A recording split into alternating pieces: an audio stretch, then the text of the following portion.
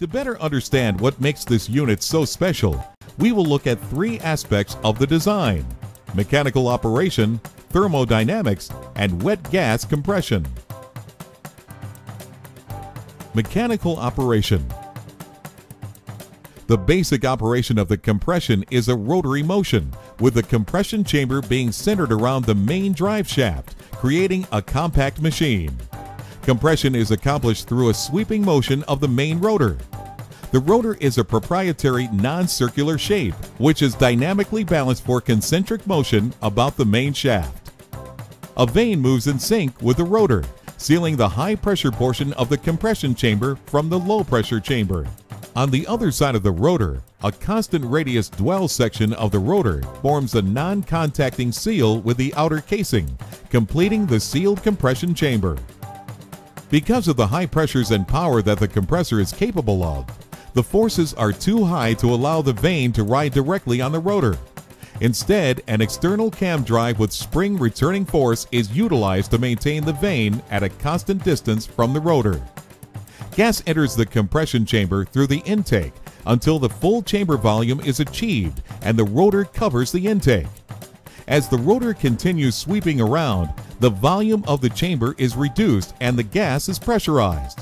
Once the pressure of the gas exceeds the pressure of the downstream piping, the discharge valves open, allowing the high pressure gas to exit the chamber. Thermodynamics.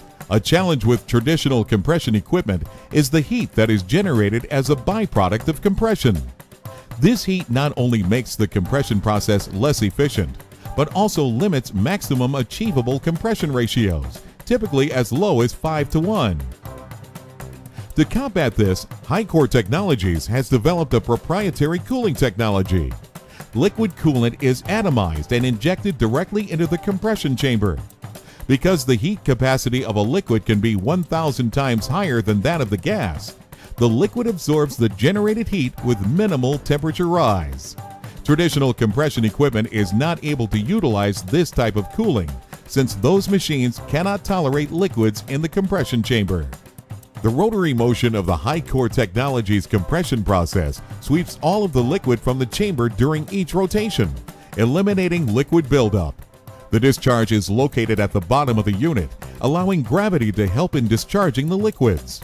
These features allow liquid to safely pass through the compressor without experiencing the hydrolock conditions seen when liquids are present in conventional compressors.